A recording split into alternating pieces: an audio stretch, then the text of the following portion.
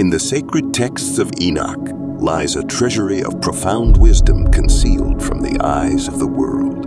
Within those ancient pages, the secrets of the ancients whisper, their forgotten knowledge yearning to be unveiled. Enoch, the visionary, bestowed with divine revelations, offers profound insights into the hidden realms of wisdom. Through his words, we glimpse the forgotten tapestry of cosmic truths woven by celestial sages of old.